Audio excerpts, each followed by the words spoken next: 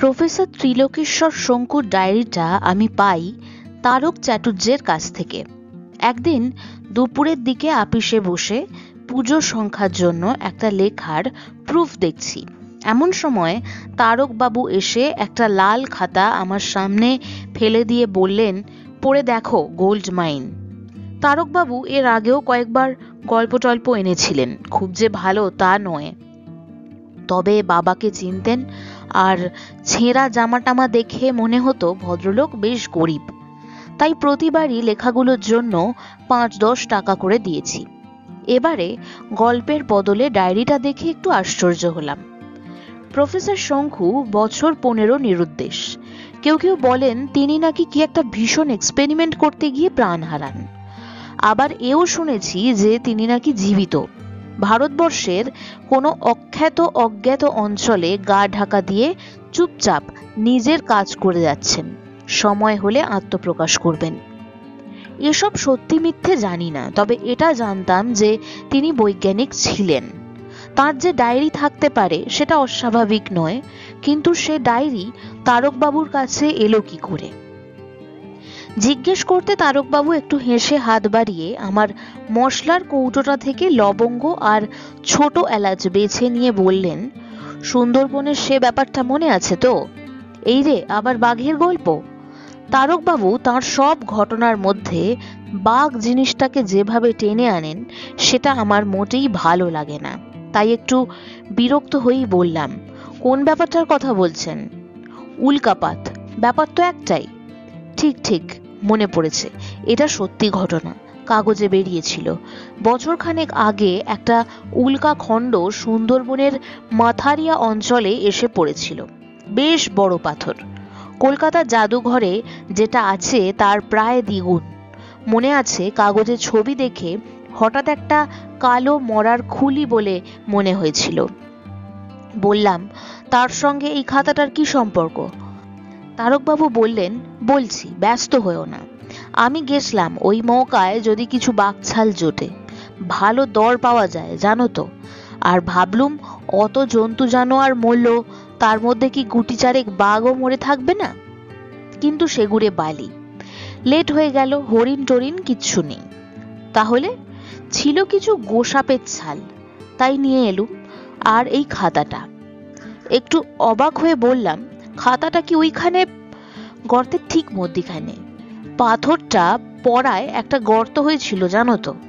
তোমাদের চারখানা হেদও তার মধ্যে ঢুকে যায়। এটা ছিল তার ঠিক মধ্যিখানে। বলেন কি? বোধহয় পাথরটা যেখানে পড়েছিল তার খুব কাছেই।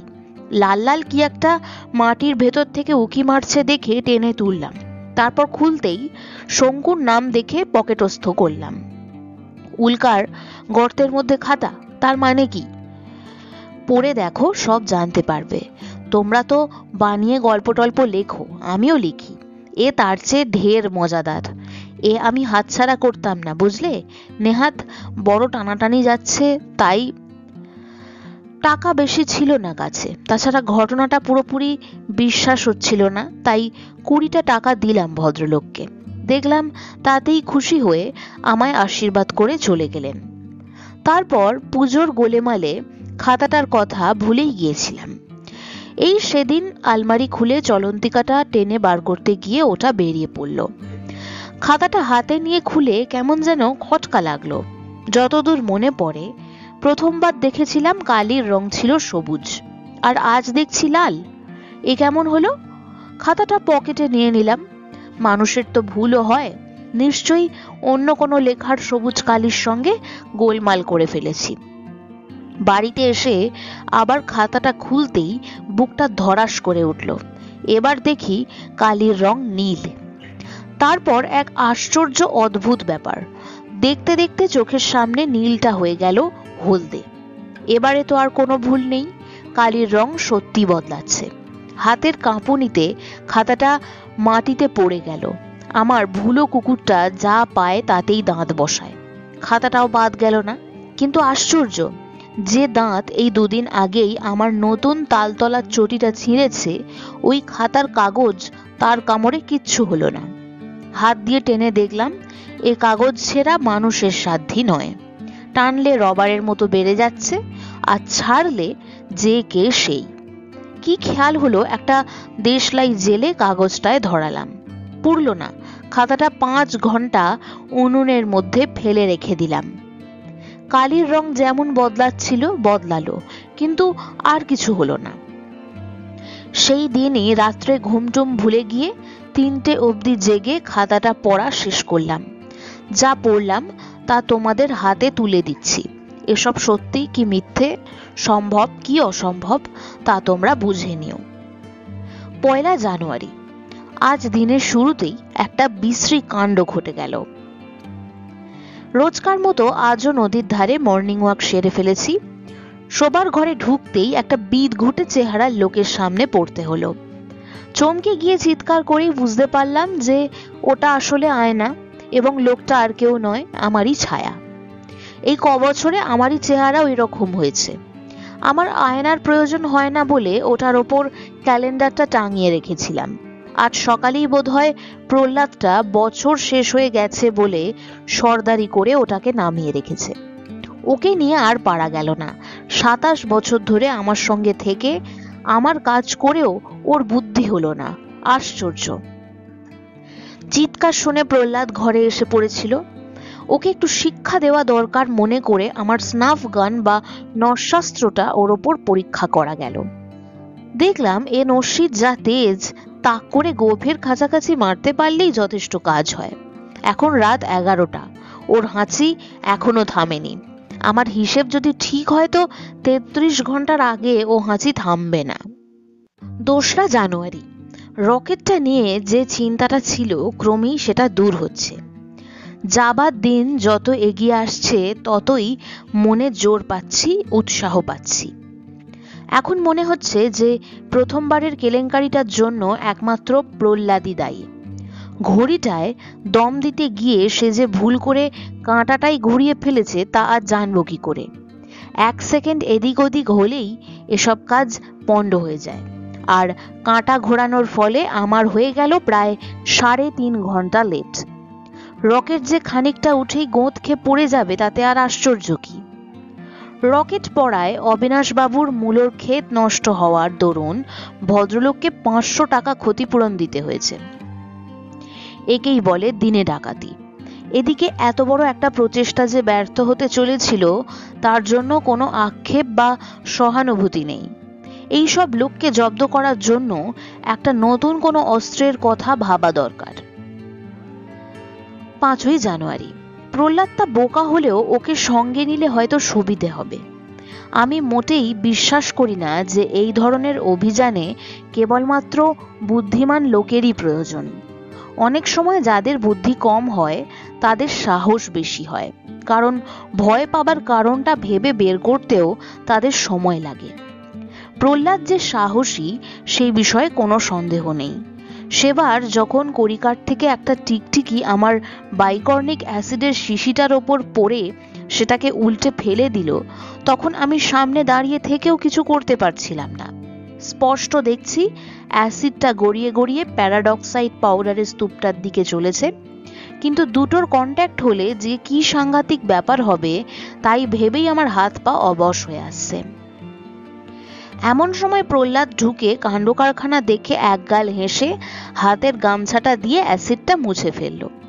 আর পাঁচ সেকেন্ড দেরি হলেই আমি, আমার ল্যাবরেটরি, বিধুশেখর, প্রহ্লাদ, টিকটিকি এসব কিছুই থাকতো না। তাই ভাবছি হয়তো ওকে নেওয়াই ভালো। ওজনেও কুলিয়ে যাবে। প্রহ্লাদ হলো দু মন সাত শের, আমি এক মন এগারো শের, বিধুশেখর সাড়ে পাঁচ মন, আর জিনিসপত্র সার সরঞ্জাম মিলিয়ে মন পাঁচেক। আমার রকেটে কুড়ি মন পর্যন্ত জিনিস নির্ভয়ে নেওয়া চলতে পারে। ছয় জানুয়ারি। আমার রকেটের পোশাকটার আস্তিনে কতকগুলো উচ্চিংড়ে ঢুকেছিল। আজ সকালে সেগুলো ঝেড়ে ঝুড়ে বার করছি, এমন সময় অবিনাশ বাবু এসে হাজির। বললেন, কি মশাই, আপনি তো চাঁদপুর না মঙ্গলপুর কোথায় চললেন? আমার টাকাটার কি হলো? এই হলো অবিনাশ বাবুর রসিকতার নমুনা। বিজ্ঞানের কথা উঠলেই ঠাট্টা আর ভাঁড়ামো। রকেটটা যখন প্রথম তৈরি করছি, তখন একদিন এসে বললেন, আপনার ওই হাউইটা এই কালী পুজোর দিনে ছাড়ুন না, ছেলেরা বেশ আমোদ পাবে। এক এক সময় মনে হয় যে পৃথিবীটা যে গোল এবং সেটা যে ঘুরতে ঘুরতে সূর্যকে প্রদক্ষিণ করছে, সেটাও বোধহয় অবিনাশবাবু বিশ্বাস করেন না। যাই হোক আজ আমি তাঁর ঠাট্টায় কান্না দিয়ে বরং উল্টে তাকে খুব খাতির টাতির করে বসতে বললাম। তারপর প্রহ্লাদকে বললাম চা আনতে। আমি জানতাম যে অবিনাশবাবু চায়ে চিনির বদলে স্যাকারিন খান। আমি স্যাকারিনের বদলে ঠিক সেই রকমই দেখতে একটা বড়ি তাঁর চায়ে ফেলে দিলাম। এই বড়ি হলো আমার নতুন অস্ত্র। মহাভারতের জৃম্ভনাস্ত্র থেকেই আইডিয়াটা এসেছিল। কিন্তু এটাই যে শুধু হাই উঠবে তা নয়, হাইয়ের পর গভীর ঘুম হবে এবং সেই ঘুমের মধ্যে সব ভয়ঙ্কর অসম্ভব রকমের স্বপ্ন দেখতে হবে। আমি নিজে কাল চার ভাগের এক ভাগ বড়ি ডালিমের রসে ডাইলিউট করে খেয়ে দেখেছি। সকালে উঠে দেখি স্বপ্ন দেখে ভয়ের চোটে দাঁড়ির বাঁ দিকটা একেবারে পেকে গেছে। আটই জানুয়ারি, নিউটনকে সঙ্গে নেব। কদিন ধরেই আমার ল্যাবরেটরির আশেপাশে ঘোরাঘুরি করছে এবং করুণ সুরে ম্যাও ম্যাও করছে। বোধহয় বুঝতে পারছিল যে আমার যাবার সময় আসছে। কালোকে ফিশ পিলটা খাওয়ালাম, মহা খুশি। আজ মাছের মুড়ো আর বড়ি পাশাপাশি রেখে পরীক্ষা করে দেখলাম, ও বড়িটাই খেলো, আর কোনো চিন্তা নেই। এবার চটপট ওর জন্য একটা পোশাক আর হেলমেট তৈরি করে ফেলতে হবে। দশই জানুয়ারি। দুদিন থেকে দেখছি বিধুশেখর মাঝে মাঝে একটা গাঁ গাঁ শব্দ করছে। এটা খুবই আশ্চর্য, কারণ বিদুশেখরের তো শব্দ করার কথা নয়। কলকবজার মানুষ কাজ করতে বললে চুপচাপ কাজ করবে। এক নড়াচড়ার যা ঠং ঠং শব্দ। ও তো আমারই হাতে তৈরি, তাই আমি জানি ওর কতখানি ক্ষমতা। আমি জানি ওর নিজস্ব বুদ্ধি বা চিন্তা শক্তি বলে কিছু থাকতেই পারে না। কিন্তু বেশ কিছুদিন থেকেই মাঝে মাঝে এর ব্যতিক্রম লক্ষ্য করছি। একদিনের ঘটনা খুব বেশি করে মনে পড়ে। আমি তখন সবে রকেটের পরিকল্পনাটা করছি। জিনিসটা যে কোনো সাধারণ ধাতু দিয়ে তৈরি হতে পারে না, সেটা প্রথমেই বুঝেছিলাম। অনেক এক্সপেরিমেন্ট করার পর ব্যাঙের ছাতা, সাপের খোলস আর কচ্ছপের ডিমের খোলা মিশিয়ে একটা কম্পাউন্ড তৈরি করেছি।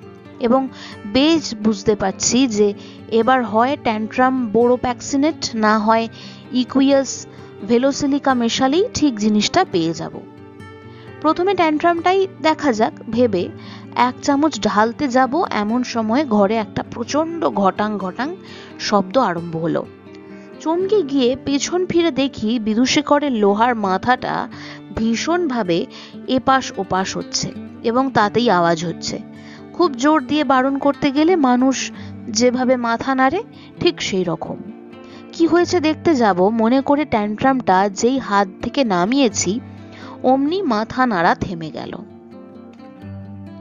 কাছে গিয়ে দেখি কোনো গোলমাল নেই, কলকবজা, তেল, টেল, সবই ঠিক আছে। টেবিলে ফিরে এসে আবার যে ট্যান্ট্রামটা হাতে নিয়েছি, অমনি আবার ঘটাং ঘটাং। এ তো ভারী বিপদ। বিদুশিকর কি সত্যি বারণ করছে নাকি? এবার ভেলোসিলিকাটা হাতে নিলাম। নিতেই আবার সেই শব্দ। কিন্তু এবার মাথা নড়ছে ওপর নিচে, ঠিক যেমন করে মানুষে হ্যাঁ বলে। শেষ পর্যন্ত ভেলোসিলিকা মিশিয়েই ধাতুটা তৈরি হলো। পরে ট্যান্ট্রামটা দিয়েও পরীক্ষা করে দেখেছিলাম, না করলেই ভালো ছিল। সেই চোখ ধাঁধানো সবুজ আলো আর বিস্ফোরণের বিকট শব্দ কোনোদিনও ভুলব না। এগারোই জানুয়ারি আজ বিদুশেখরের কলকবজা খুলে ওকে খুব ভালো করে পরীক্ষা করেও ওর আওয়াজ করার কোনো কারণ খুঁজে পেলাম না। তবে এও ভেবে দেখলাম যে এতে আশ্চর্য হবার কিছু নেই। আমি আগেও অনেকবার দেখেছি যে আমার বৈজ্ঞানিক বিদ্যে বুদ্ধি দিয়ে আমি যে জিনিস তৈরি করি, সেগুলো অনেক সময় আমার হিসেবে বেশি কাজ করে। তাতে এক এক সময় মনে হয়েছে যে হয়তোবা কোনো অদৃশ্য শক্তি আমার অজ্ঞাতে আমার ওপর খোদকারি করছে।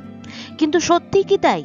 বরঞ্চ আমার মনে হয় যে আমার ক্ষমতার দৌড় যে ঠিক কতখানি, তা হয়তো আমি নিজেই বুঝতে পারি না। খুব বড় বড় বৈজ্ঞানিকদের শুনেছি এরকম হয়। আর একটা কথা আমার প্রায়ই মনে হয়, সেটা হচ্ছে বাইরের কোনো জগতের প্রতি আমার যেন একটা টান আছে। এই টানটা লিখে বোঝানো শক্ত। মাধ্যাকর্ষণের ঠিক উল্টো কোনো শক্তি যদি কল্পনা করা যায়, তাহলে এটার একটা আন্দাজ পাওয়া যাবে। মনে হয় যেন পৃথিবীর প্রভাব ছাড়িয়ে যদি কিছু দূর উপরে উঠতে পারি, তাহলেই এই টানটা আপনা থেকেই আমাকে অন্য কোনো গ্রহে ট্রহে নিয়ে গিয়ে ফেলবে। এ টানটা যে চিরকাল ছিল তা নয় একটা বিশেষ দিন থেকে এটা আমি অনুভব করে আসছি। সেই দিনটার কথা আজও বেশ মনে আছে। বারো বছর আগে, আশ্বিন মাস, আমি আমার বাগানে একটা আরাম কেদারায় শুয়ে শরৎকালের মৃদু মৃদু বাতাস উপভোগ করছি। আশ্বিন কার্তিক মাসটা আমি রোজ রাত্রে খাবার পরে তিন ঘণ্টা এইভাবে শুয়ে থাকি। কারণ এই দুটো মাসে উল্কাপাত হয় সবচেয়ে বেশি। এক ঘন্টায় অন্তত আট দশটা উল্কা রোজই দেখা যায়। আমার দেখতে ভারী ভালো লাগে।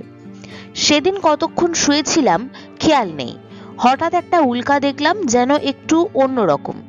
সেটা ক্রমশ বড় হচ্ছে এবং মনে হলো যেন আমার দিকেই আসছে।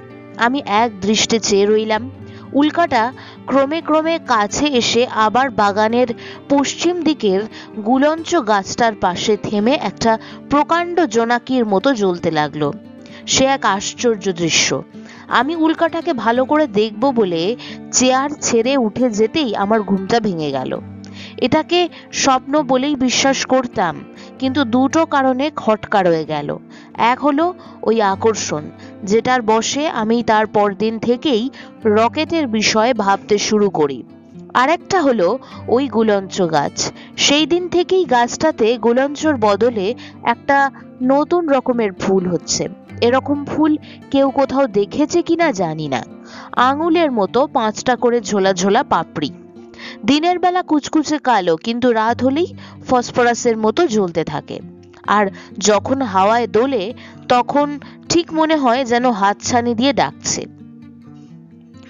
বারোই জানুয়ারি, কাল ভোর পাঁচটায় মঙ্গল যাত্রা। আজ প্রহ্লাদকে ল্যাবরেটরিতে ডেকে এনে ওর পোশাক আর হেলমেটটা পরিয়ে দেখলাম।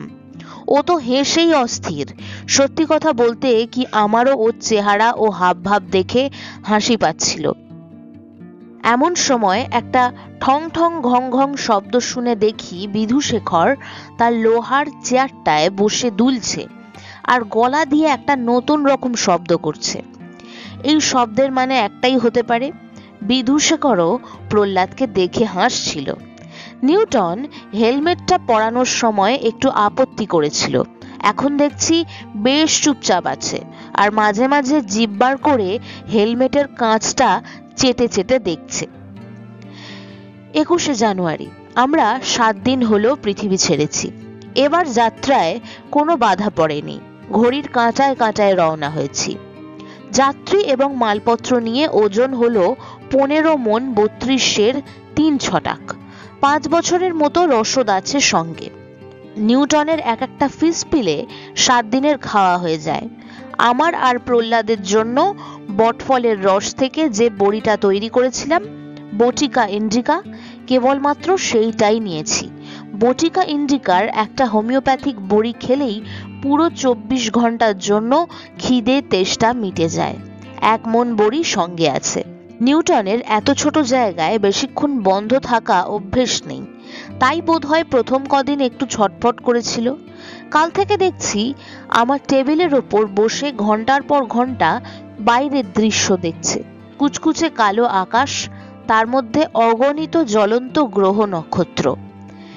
নিউটন দেখে আর মাঝে মাঝে আস্তে ল্যাজের ডগাটা নাড়ে। ওর কাছে বোধ হয় ওগুলোকে অসংখ্য বেড়ালের চোখের মতো মনে হয়। বিদুষেকরের কোনো কাজকর্ম নেই, চুপচাপ বসে থাকে।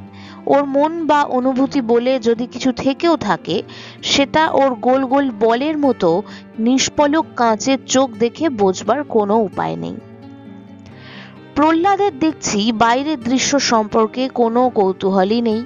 ও বসে বসে কেবলমাত্র রামায়ণ পড়ে। ভাগ্যে বাংলাটা শিখেছিল আমার কাছে। পঁচিশে জানুয়ারি, বিধুশেখরকে বাংলা শেখাচ্ছি। বেশ সময় লাগবে বলে মনে হচ্ছে। তবে চেষ্টা আছে। প্রহ্লাদ যে ওর উচ্চারণের ছিঁড়ি দেখে হাসে, সেটা ও মোটেই পছন্দ করে না। দু একবার দেখেছি ও মুখ দিয়ে গ গ আওয়াজ করছে আর পা দুটো ঠং ঠং করে মাটিতে ঠুকছে। ওর লোহার হাতের একটা বাড়ি খেলে যে কি দশা হবে, সেটা কি প্রহ্লাদ বুঝে না? আজ বিধুশেখরকে পরীক্ষা করবার জন্য জিজ্ঞাসা করলাম, কেমন লাগছে? ও প্রশ্নটা শুনে দু তিন সেকেন্ড চুপ করে থেকে হঠাৎ দুলতে আরম্ভ করল। কিছুক্ষণ সামনে পেছনে দুলে তারপর হাত দুটোকে পরস্পরের কাছে এনে ঠং ঠং করে তালির মতো বাজালো। দু পায়ে খানিকটা সোজা হয়ে উঠে ঘাটটাকে চিত করে বলল গাগো ও যে আসলে বলতে চাচ্ছিল ভালো সেই বিষয়ে আমার কোনো সন্দেহ নেই। আজ মঙ্গল গ্রহটাকে একটা বাতাবি লেবুর মতো দেখাচ্ছে। আমার হিসেব অনুযায়ী আর এক মাস পরে ওখানে পৌঁছব। এই কমাস নির্বিঘ্নে কেটেছে। প্রহ্লাদ রামায়ণ শেষ করে মহাভারত ধরেছে। আজ সকালে দূরবীন দিয়ে গ্রহটাকে দেখছি, এমন সময় খেয়াল হলো বিধুশেখর কি জানি বীর করছে। প্রথমে মন দিইনি, তারপর লক্ষ্য করলাম যে বেশ লম্বা একটা কথা বারবার বলছে। প্রতিবার একই কথা। আমি সেটা খাতায় নোট করে নিলাম। এই রকম দাঁড়াল। ঘঙ ঘাং কুং ঘঙা আজ্ঞাকে কি কোকুং ঘঙা। লেখাটা পড়ে এবং ওর কথা শুনতে শুনতে হঠাৎ বুঝতে পারলাম ও কি বলছে। কিছুদিন আগে দ্বিজু রায়ের একটা গান গুনগুন করে গাইছিলাম। এটা তারই প্রথম লাইন। ধনধান্য পুষ্প ভরা আমাদের এই বসুন্ধরা। বিদুশেখরের উচ্চারণের প্রশংসা করতে না পারলেও ওর স্মরণ শক্তি দেখে অবাক হয়ে গেলাম। জানালা দিয়ে এখন মঙ্গল গ্রহ ছাড়া আর কিছুই দেখা যায় না। আস্তে আস্তে গ্রহের গায়ের রেখাগুলি স্পষ্ট হয়ে আসছে। কাল এই সময় ল্যান্ড করব। অবিনাশ বাবুর ঠাট্টার কথা মনে পড়লে হাসি পায়। আমাদের যে সমস্ত জিনিস সঙ্গে নিয়ে নামতে হবে, সেগুলো গুছিয়ে রেখেছি। ক্যামেরা, দূরবীন, অস্ত্রশস্ত্র ফার্স্ট এড বক্স এইসবই নিতে হবে। মঙ্গল গ্রহে যে প্রাণী আছে, সেই বিষয়ে আমার সন্দেহ নেই। তবে তারা যে কি রকম, ছোট কি বড়, হিংস্র না অহিংস্র, তা জানি না। একেবারে মানুষের মতো কিছু হবে, সেটাও অসম্ভব বলে মনে হয়। যদি বিদখুটে কোনো প্রাণী হয়, তাহলে প্রথমটা ভয়ের কারণ হতে পারে। কিন্তু এটা মনে রাখা দরকার যে আমরা যেমন তাদের কখনো দেখিনি তারাও কখনো মানুষ দেখেনি। প্রহ্লাদকে দেখলাম, তার ভয় ভাবনা নেই, সে দিব্যি নিশ্চিন্ত আছে। তার বিশ্বাস, গ্রহের নাম যখন মঙ্গল, তখন সেখানে কোনো অনিষ্ট হতেই পারে না। আমিও ওর সরল বিশ্বাসে, তখন ডায়েরি লিখতে লিখতে একটা কাণ্ড হয়ে গেল। বিদুশেখরকে কদিন থেকেই একটু চুপচাপ দেখছিলাম। কেন তা ঠিক বুঝতে পারছিলাম না। এখনও প্রশ্ন করলে ঠিক উত্তর দিতে পারে না। কেবল কোনো একটা কথা বললে সেটা শুনে নকল করার চেষ্টা করে। আর চুপচাপ বসে থাকতে থাকতে হঠাৎ কি যে হলো এক লাফে যন্ত্রপাতির বোর্ডার কাছে উঠে এসে যে হ্যান্ডেলটা টানলে রকেটটা উল্টো দিকে যায় সেইটি ধরে প্রচণ্ড টান। আমরা তো ঝাঁকুনির চোটে সব কেবিনের মেঝে গড়াগড়ি। কোনো মতে উঠে গিয়ে বিদুশেখরের কাঁধের বোতামটা টিপতেই ও বিকল হয়ে হাত পা মুড়ে পড়ে গেল। তারপর হ্যান্ডেল ঘুরিয়ে মোড় ফিরিয়ে আবার মঙ্গলের দিকে যাত্রা। বিদুশেখরের এরকম পাগলামির কারণ কি? ওকে আপাতত অকেজো করেই রেখে দেব। ল্যান্ড করার পর আবার বোতাম টিপে চালু করব। আমার বিশ্বাস ওর মনের উপর চাপ পড়ছিল বেশি। বড্ড বেশি কথা বলা হয়েছে ওর সঙ্গে। তাই বোধহয় ওর মাথাটা বিগড়ে গিয়েছিল। আর পাঁচ ঘণ্টা আছে আমাদের ল্যান্ড করতে। গ্রহের গায়ে যে নীল জায়গাগুলো প্রথমে জল বলে মনে হয়েছিল, সেটা এখন অন্য কিছু বলে মনে হচ্ছে। সরু সরু লাল সুতোগুলো যে কি, এখনও বুঝতে পারছি না। আমরা দু ঘণ্টা হলো মঙ্গল গ্রহে নেমেছি। একটা হলদে রঙের নরম পাথরের ঢিপির ওপর বসে আমি ডায়েরি লিখছি। এখানে গাছপালা, মাটি, পাথর, সবই কেমন জানি নরম রবারের মতো। সামনেই হাত বিশেক দূরে একটা লাল নদী বয়ে যাচ্ছে। সেটাকে প্রথমে নদী বলে বুঝিনি, কারণ জলটা দেখলে ঠিক মনে হয় যেন স্বচ্ছ পেয়ারার জেলি। এখানে সব নদীই বোধ হয় লাল এবং সেগুলোকেই আকাশ থেকে লাল সুতোর মতো দেখায়। যেটাকে রকেট থেকে জল বলে মনে হয়েছিল, সেটা আসলে ঘাস আর গাছপালা। সবই সবুজের বদলে নীল। আকাশের রং কিন্তু সবুজ, তাই সব কীরকম উল্টো মনে হয়। এখনও পর্যন্ত কোনো প্রাণী চোখে পড়েনি। আমার হিসেব তাহলে ভুল হলো নাকি? কোনো সারা শব্দও পাচ্ছি না। কেমন যেন একটা থমথমে ভাব। এক নদীর জলের কুলকুল শব্দ ছাড়া আর কোনো শব্দই নেই। আশ্চর্য নিস্তব্ধ ঠান্ডা নেই বরং গরমের দিকে। কিন্তু মাঝে মাঝে এক একটা হাওয়া আসে যেটা ক্ষণস্থায়ী হলেও একেবারে হাড় পর্যন্ত কাঁপিয়ে দেয়। দূরে হয়তো বরফের পাহাড় টাহাড় জাতীয় কিছু আছে। নদীর জলটা প্রথমে পরীক্ষা করতে সাহস পাচ্ছিলাম না। তারপর নিউটনকে খেতে দেখে ভরসা পেলাম। আজলা করে তুলে চেখে দেখি অমৃত। মনে পড়ল একবার গাঢ় পাহাড়ে একটা ঝর্ণার জল খেয়ে আশ্চর্য ভালো লেগেছিল। কিন্তু এর কাছে সে জল কিছুই না এক ঢোক খেয়েই শরীর ও মনের সমস্ত ক্লান্তি দূর হয়ে গেল। বিদুশেখরকে নিয়ে আজ এক ফ্যাসাদ। ওর যে কি হয়েছে জানি না। রকেট ল্যান্ড করার পর বোতাম টিপে ওকে চালু করে দিলাম, কিন্তু নড়েও না, চড়েও না। জিজ্ঞেস করলাম, কি হয়েছে? তুমি নামবে না? ও মাথা নেড়ে না বলল, বললাম, কেন? কি হয়েছে? এবার বিদুশেখর হাত দুটো মাথার ওপর তুলে গম্ভীর ভয় পাওয়া গলায় বলল, বিভং বিদুশেখরের ভাষা বুঝতে আমার কোনো অসুবিধে হয় না। তাই বুঝলাম, ও বলছে বিপদ। জিজ্ঞেস করলাম, কি বিপদ বিদুশেখর কিসের ভয়? বিদুশেখর আবার গম্ভীর গলায় বলল, বিভং বিভং বিভং, বিপদ, ভীষণ বিপদ। অগত্যা বিদুশেখরকে রকেটে রেখেই আমরা তিনটি প্রাণী মঙ্গল গ্রহের মাটিতে পদার্পণ করলাম।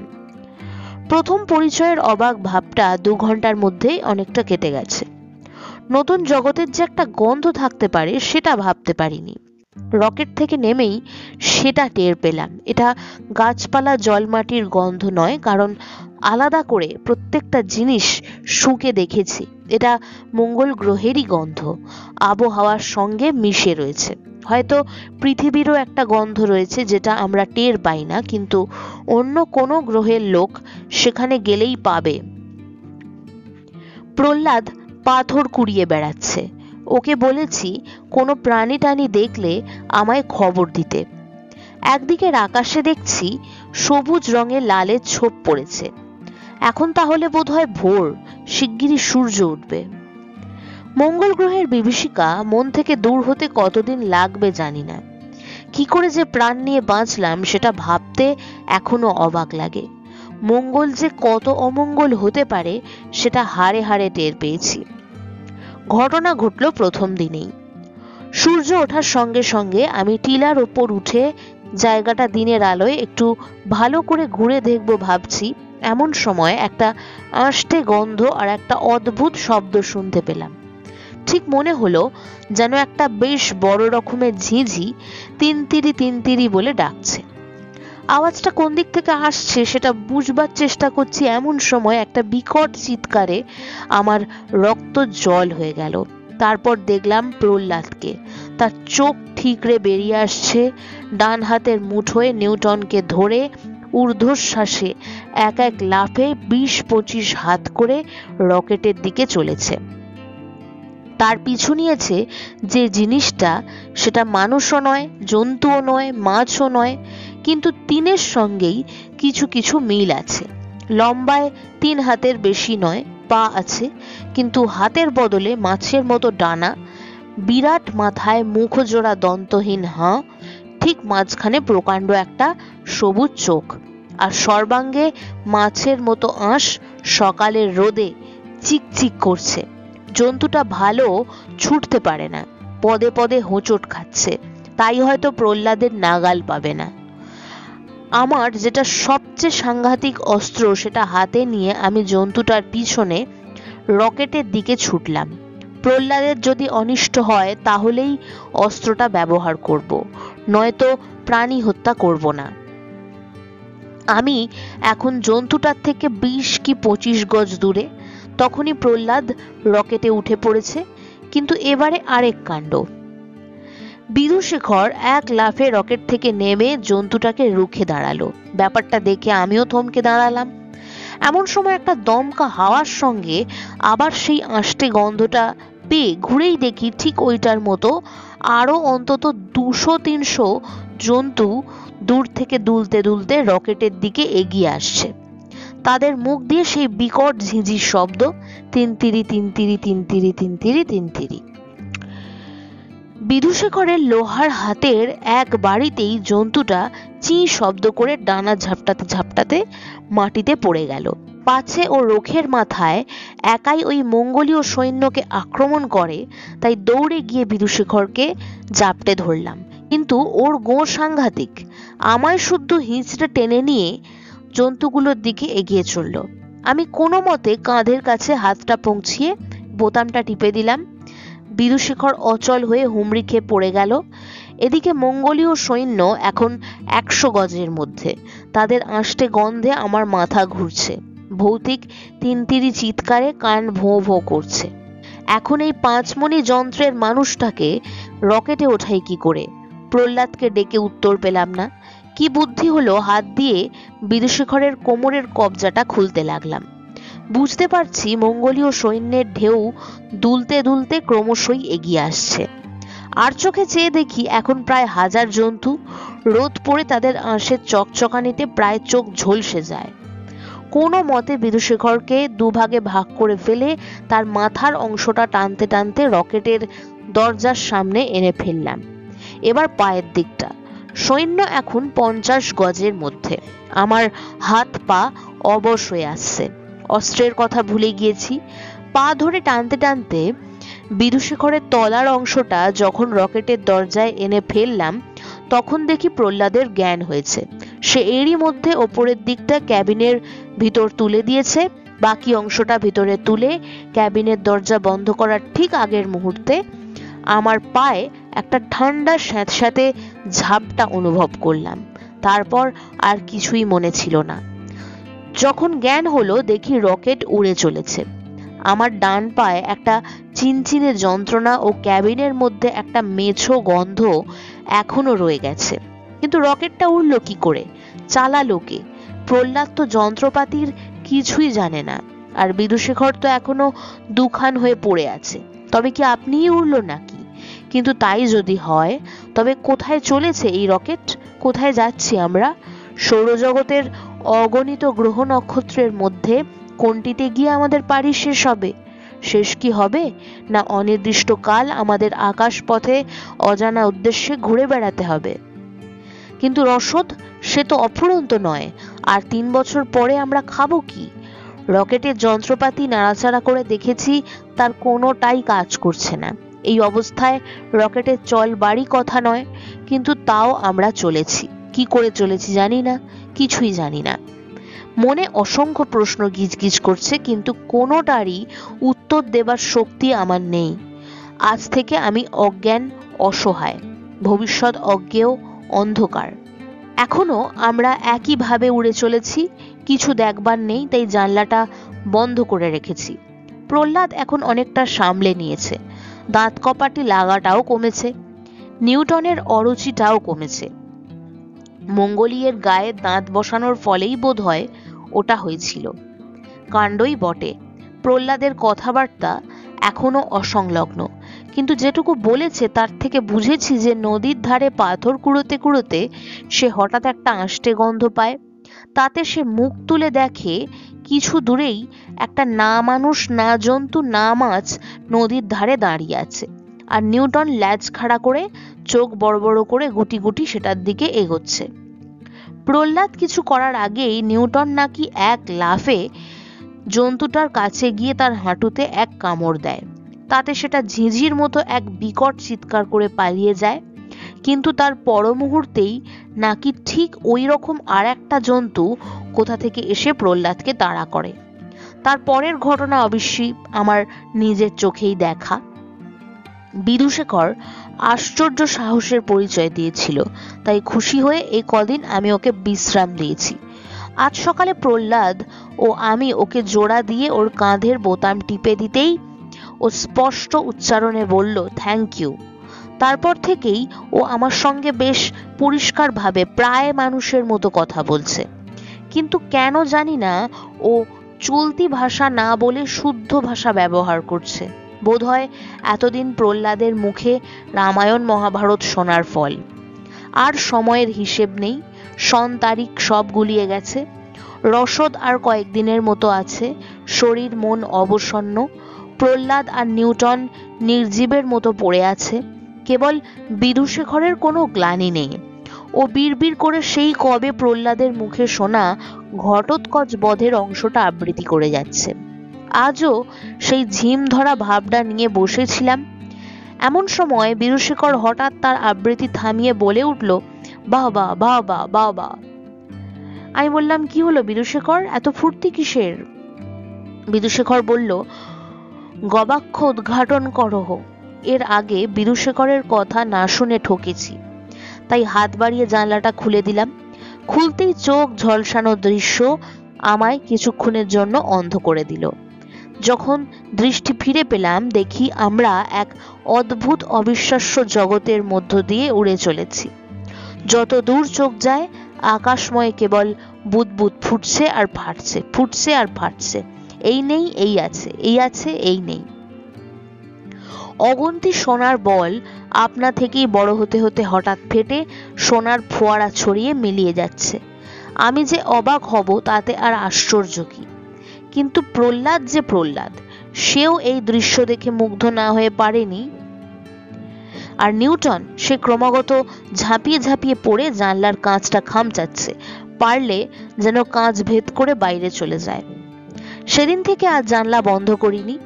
কারণ কখন যে কোন বিচিত্র জগতের মধ্যে এসে পড়ি তার ঠিক নেই। খিদে তেষ্টা ভুলে গেছি।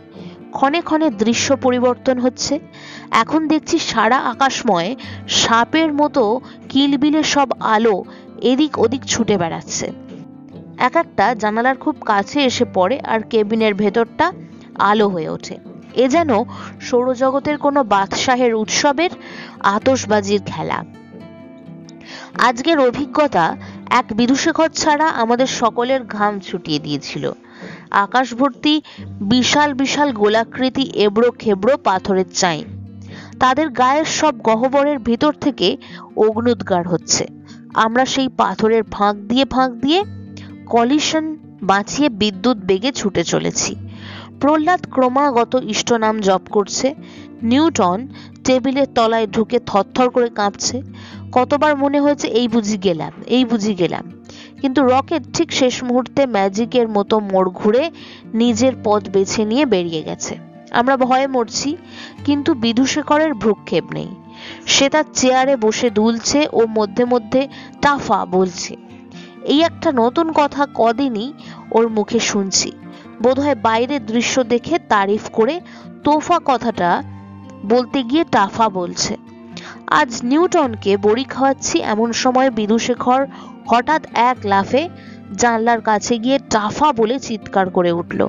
আমি জানলার দিকে তাকিয়ে দেখি আকাশে আর কিছু নেই, কেবল একটা ঝলমলে সাদা গ্রহ, নির্মল নিষ্কলঙ্ক, একটি চাঁদের মতো আমাদের দিকে চেয়ে আছে। রকেটটা নিঃসন্দেহে ওই গ্রহটার দিকেই এগিয়ে চলেছে। বিদুশেখরের কথা যদি সত্যি হয়, তাহলে ওটার নাম টাফা। আর জানলা দিয়ে অপূর্ব দৃশ্য। টাফার সর্বাঙ্গে যেন অসংখ্য জোনাকি জ্বলছে আর নিবছে সেই আলোয় আমাদের কেবিনও আলো হয়ে গেছে। আমার সেই স্বপ্নের জোনাকির কথা মনে পড়েছে। মন আজ সকলেরই খুশি। শেষ পর্যন্ত হয়তো আমাদের অভিযান ব্যর্থ হবে না। টাফার দূরত্ব দেখে আন্দাজে মনে হচ্ছে কালই হয়তো আমরা ওখানে পৌঁছে যাব। গ্রহটা ঠিক কীরকম দেখতে সেটা ওই জোনাকিগুলোর জন্য বোঝবার উপায় নেই। আজ বিদুশেখর যেসব কথাগুলো বলছিল সেগুলো বিশ্বাস করা কঠিন। আমি কদিন থেকেই ওর অতিরিক্ত ফুর্তি দেখে বুঝেছি যে ওর মাথাটা হয়তো আবার গোলমাল করছে। ও বলল, টাফায় নাকি সৌরজগতের প্রথম সভ্য লোকেরা বাস করে। পৃথিবীর সভ্যতার চেয়ে ওদের সভ্যতা নাকি বেশ কয়েক কোটি বছরের পুরনো।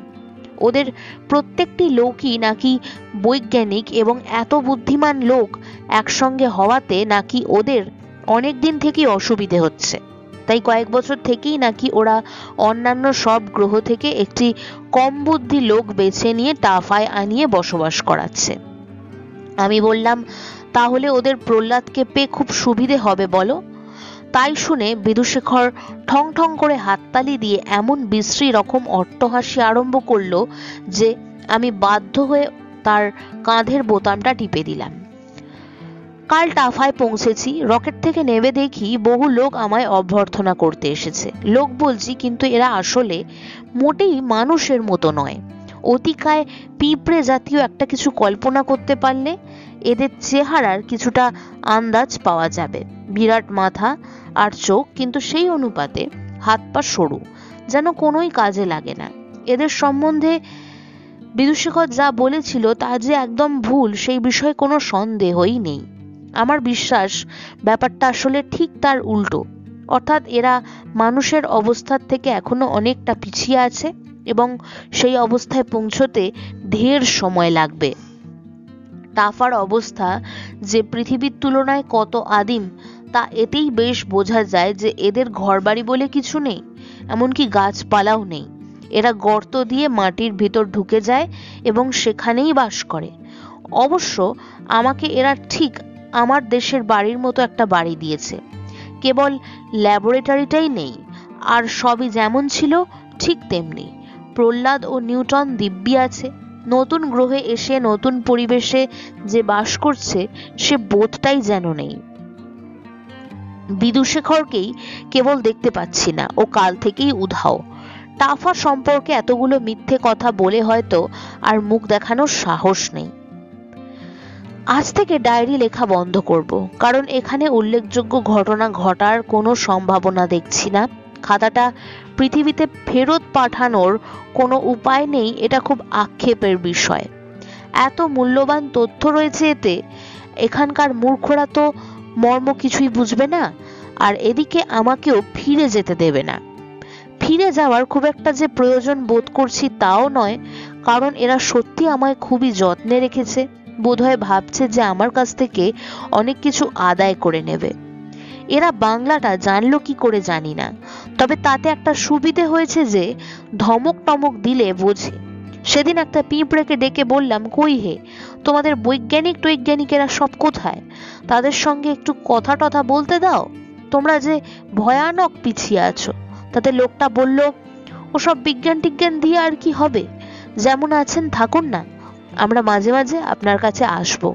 আপনার সহজ, সরল কথাবার্তা শুনতে আমাদের ভারী ভালো লাগে। আহা, যত সব ন্যাকামো। আমি রেগে গিয়ে আমার নস্যির বন্দুকটা নিয়ে লোকটার ঠিক নাকের ফুটোয় তাক করে মারলাম। কিন্তু তাতে ওর কিছু হলো না। হবে কি করে? ওরা যে এখনও হাঁচতেই শিখেনি।